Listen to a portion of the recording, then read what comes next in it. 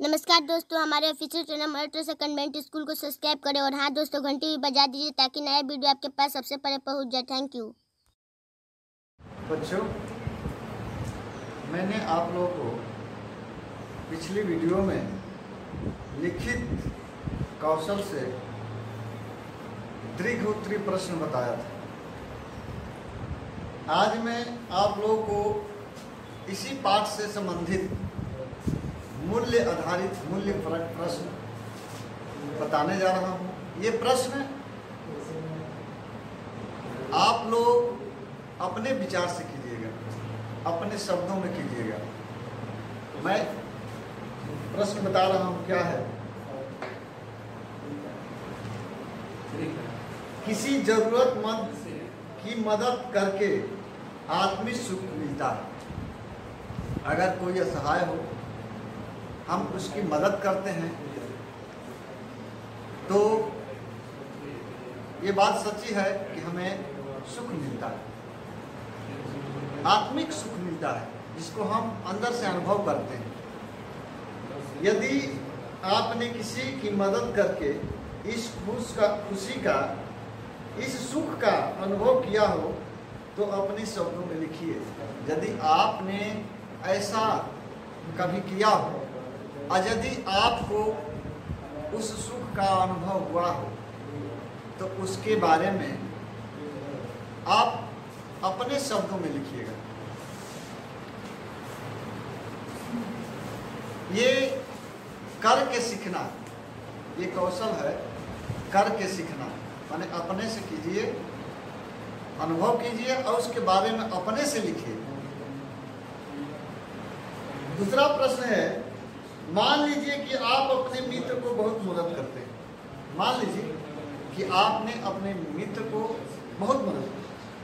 पर मित्र वक्त पड़ने पर आपका साथ नहीं देता। लेकिन वह मित्र वक्त पड़ने पर आपका साथ नहीं देता। तो ऐसे समय आपकी क्या प्रतिक्रिया होगी? अपने विचार से लिखिए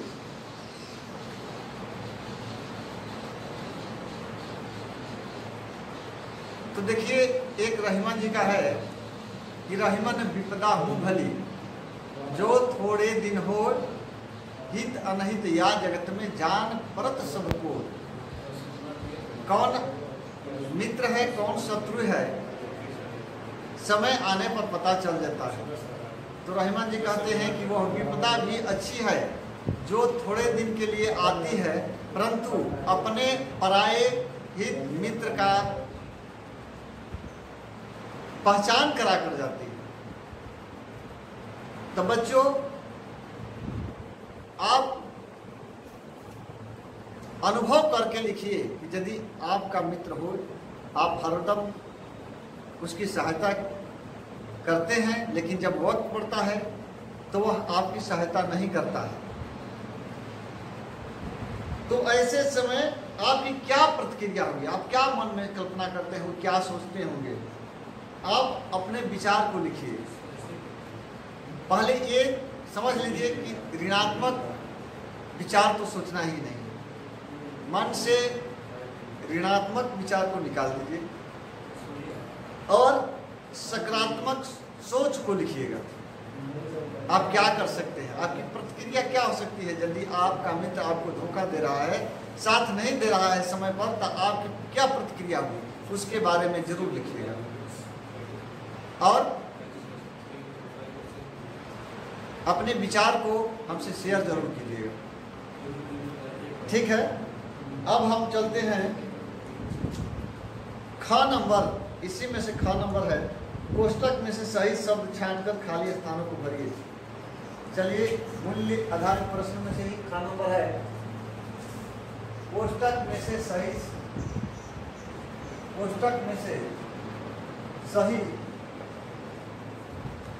यहाँ पर क्या है? कोष्टक में से सही शब्द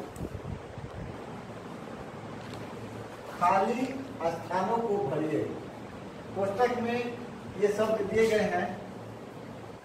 ये सब शब्द दिए गए हैं। इन्हीं में से कौन सही शब्द है, कौन भरने योग्य है, उसमें उसको छाट कर भर देना है। तो चलिए पहले देखते हैं। पहला वाक्य क्या है हमारा? देवगढ़ के दीवान सरदार सुजान सिंह बूढ़े हुए तो खाली स्थान की याद आई। तो जब दीवान जी बूढ़े हो गए, सरदार सुजान सिंह तो उनकी क्या याद आ गई? तो उनकी परमात्मा की याद आ गई। ये भरा जाएगा।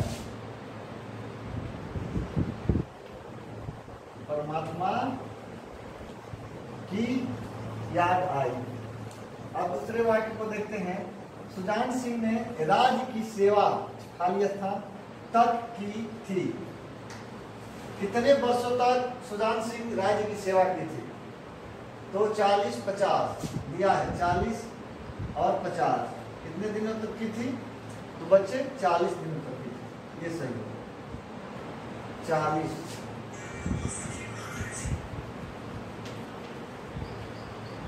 चालीस।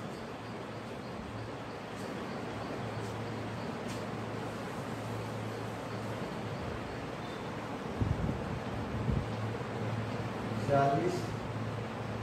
दिनों तक की थी।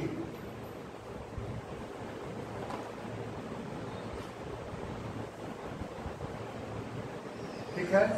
यहाँ भी एक लाइन थी अब चलते हैं तीसरा नंबर। खाली स्थान के मरीज़ दीवान पद के उम्मीदवार नहीं बन सकते। किसके मरीज़? पाठ में कैसे कैसे मरीज़ को बधिर था?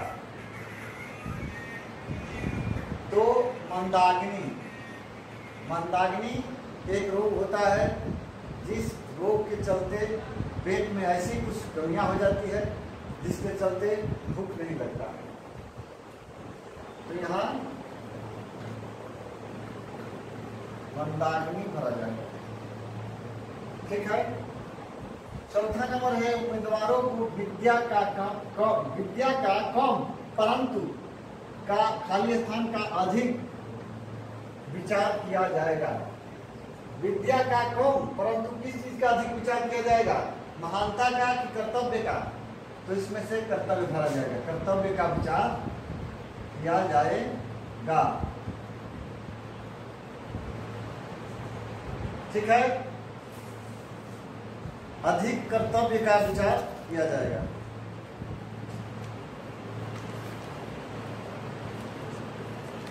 अगला प्रश्न पत्ती है, हॉकी खेलने का प्रस्ताव। खाली स्थान में पेश किया, राजा ने खिलाड़ियों ने हॉकी खेलने का प्रस्ताव किसने पेश किया था? तो खिलाड़ियों ने ये सही होगा आपका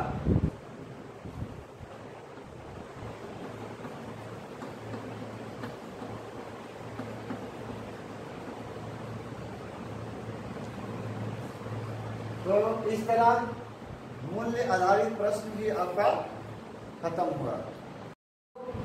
तो मूल्य आधारित प्रश्न में ख नंबर समाप्त हुआ। और क नंबर मैं आप लोग को बता दिया था कि आप लोग करना है घर पर।